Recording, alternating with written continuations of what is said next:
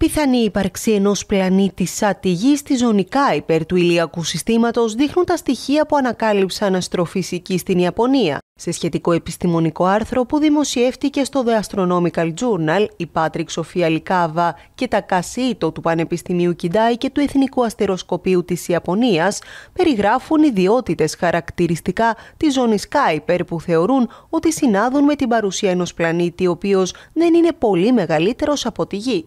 Όπως τόνισαν μεταξύ άλλων οι επιστήμονες, οι τροχές των αντικειμένων πέρα από τον Ποσειδώνα μπορεί να υποδεικνύουν την ύπαρξη ενός πλανήτη που δεν έχει ανακαλυφθεί στο εξώτερο ηλιακό σύστημα.